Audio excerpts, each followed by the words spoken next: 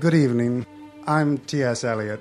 And if you're like me and my friend Ezra Pound, you want to make it new, whether you're talking about literature or home furnishings. That's why I'm proud to announce the opening of the Lost Generations Modern Furniture Emporium. April is the cruelest month, but it's also a month of savings, like the love song of J. Alfred Prufrock bedroom collection.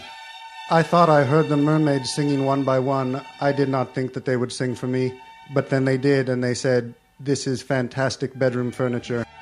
I would like not for you to take my word for it, but to take it from my friend and alcoholic Dorothy Parker.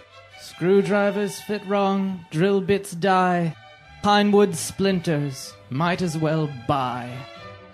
Our 400,000 square foot warehouse, the revolving suns of dying planets, Siddhartha's tears. I mean by that that we're off Main Street in the furniture district, the Lost Generations Modern Furniture Emporium, where you won't have to measure out your life with coffee spoons, but you will have to build it with Allen wrenches.